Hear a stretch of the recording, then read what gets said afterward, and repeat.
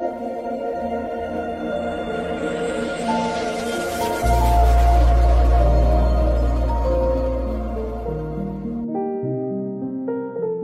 بتحديد أول قطعة أو أول حي يعني بما معناه وهذا الحي بتكون من عدة قطع أراضي بدي أقوم بتقسيم هذا الشكل أو هذا المضلع إلى عدة قطع أراضي. وكل قطعة أرض بدي أعطيها رقم قطعة. إذا بقوم بتحديد المطلوب. بعد ما قمت بتحديده في عندي feature واحد محدد. من خلال هذه المجموعة بختار split بفترض إنه عندي القطعة الأولى وبفترض إنه في عندي القطعة الأولى بهذا الشكل.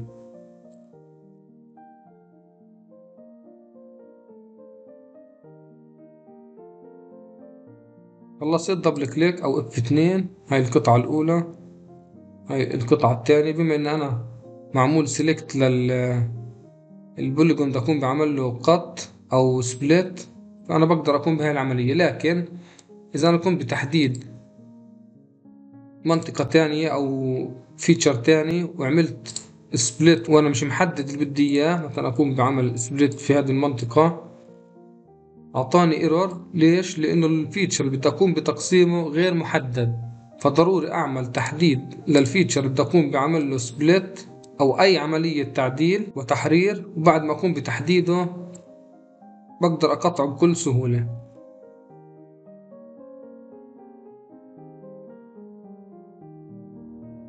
اذا إذا أنا ما قمتش بتسكير منطقة الرسم يعني ما كملت لها لهاي المنطقة ضغطت double click بعطيني error برجع نفس المنطقة وبسكرها.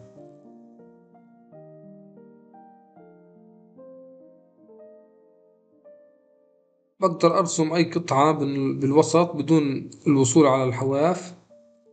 يعني بهاي الطريقة. أعطاني error. بحاول أسكر.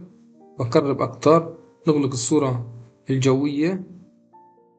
ضروري ان أقطع هذا الحد بعدها بقدر أعمل double click أو F2 أو النقر على هاي الأداة. وأنا هيك قمت بتقطيع قطعة جديدة.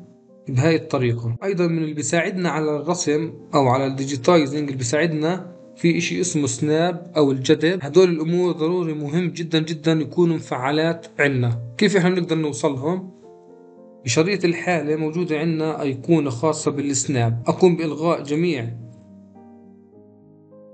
أنواع السناب فأنا لما أجي أحدد أي حافة أو أي نقطة حد ما بيظهر لي مساعدات الرسم.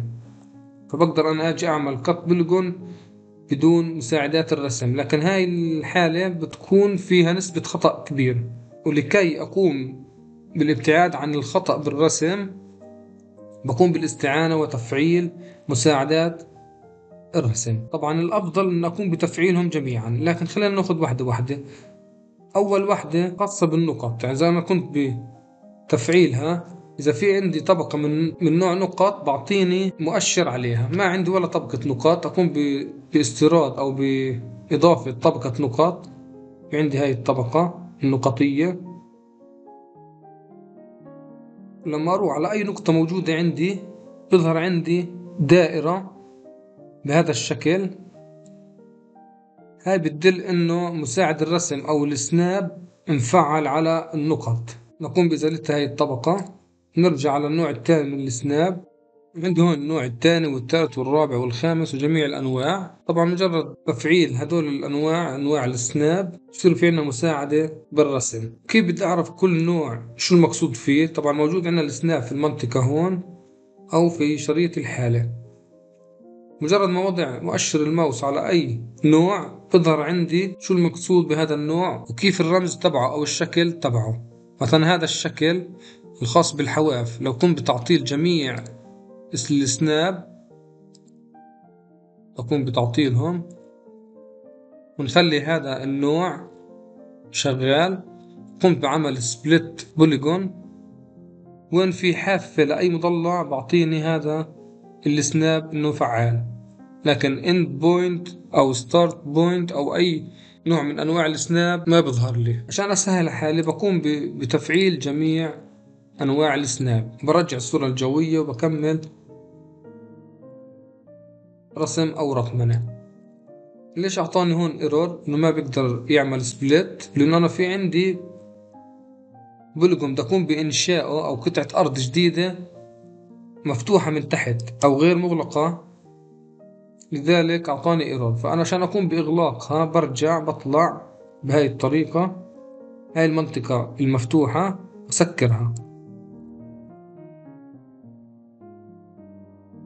عندي هاي المنطقة مثلا بقدر أعتبرها قطعة.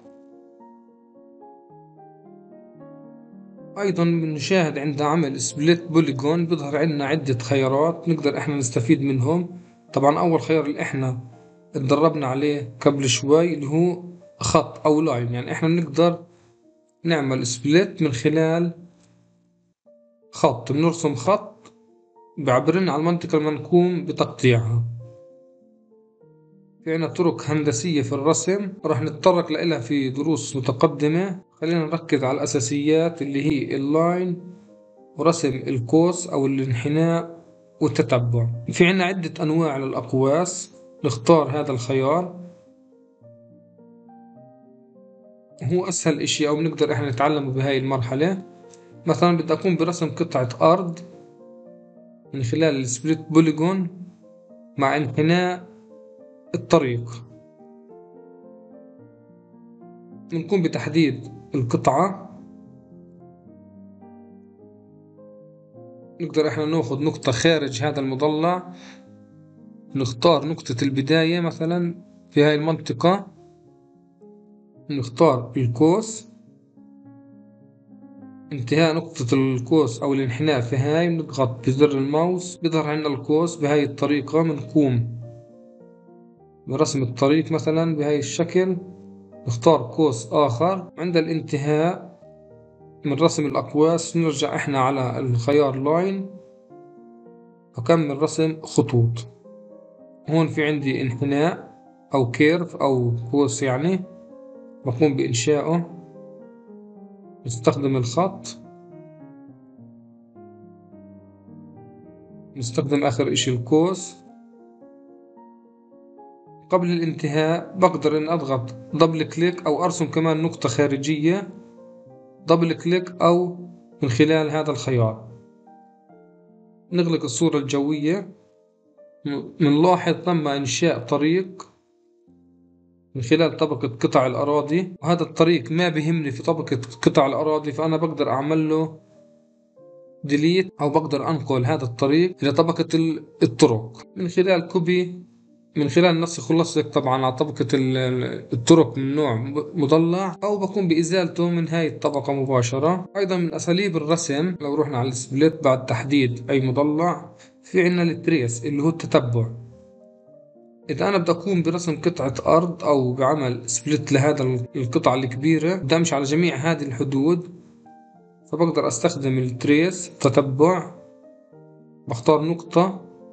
بهذه الطريقة لحد ما أوصل نقطة النهاية. وصلت نقطة النهاية بختار الخط أو أي طريقة. إذا أنا بدي أرجع أقدر أظلل هاي النقطة أو هاي ال vertex اللي بتكون منها حدود القطع الأراضي. بعملها right click و delete vertex ونبدأ نشغل الصورة الجوية. بقوم بإنهاء الرسم. طبعا إذا بتلاحظوا عند تفعيل الصورة الجوية ثم النقر على أداة الأندو التراجع. ترجع لي خطوة لورا اللي هي إزالة أو تعطيل الصورة الجوية. هي كنا بتعطيل الصورة الجوية وهيك إحنا رجعناها. طبعا أداة التراجع نقدر نضغط على هذا السهم ونشوف جميع الأوامر اللي إحنا عملناها ونقدر نتراجع عنها. طبعا بعد الانتهاء من الرسم أو بإدخال بيانات أو بعد الانتهاء بشكل عام عن أي عملية edit أو تحرير ضروري أقوم بعمل save. نخفي الصورة الجوية. لنفرض إن أنا بدي أقوم بإنشاء قطعة أرض جديدة باستخدام أسلوب ال auto complete بروح على هذه الأداة create feature بقوم باختيار ال parcels بختار هذا الأسلوب. ما يميز هذا الأسلوب بقدر أرسم polygon جديد أو قطعة أرض جديدة بدون تداخل أو فراغات بين القطع اللي حواليها. بمعنى لنفرض أنا بدي أقوم برسم قطعة الأرض في هاي المنطقة بدون ما أعيد نقاط على إشي مرسوم سابقا. فاستخدم أسلوب ال auto complete بختار نقطة البداية. بعتبر هاي نقطة النهاية. وباقي الأضلاع الموجودة عندي هون. ما بمشي عليهم. برجع بسكر الرسمة وبضغط بضغط double click بتم رسم auto complete أيضا مربع أو مستطيل بقدر أرسم أو دائرة. أيضا إذا بدي أرسم من خلال قياسات بقدر أرسم. مثلا في عندي بضغط نقطة البداية في هاي المنطقة. من ثم right click بظهر عندنا عدة خيارات الاتجاه المسافة. بقدر أخلي هذا الشكل الجديد اللي راح أرسمه موازي لمضلع موجود عندي أو متعامد لمضلع موجود عندي. بمعنى نرجع هون بدي أرسم أنا خط جديد موازي لهذا الخط. بحط مؤشر الماوس على هذا الضلع ثم right click بضغط على هذا الأمر. بقوم بإنشاء مضلع موازي لمضلع آخر.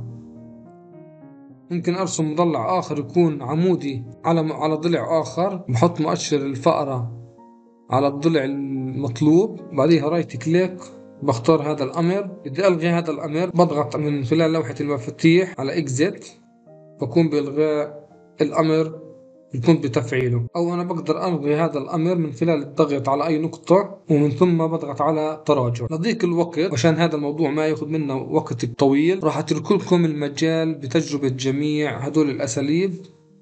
ولا تنسوا أيضا السناب تجربوهم كل واحدة شو معناها وشو المقصود فيها من خلال التجربة وكيف إحنا نقوم بعمل سبلت على أي مضلع أو أي فيتشر موجودة عندنا من نوع مضلع. أو بوليجون.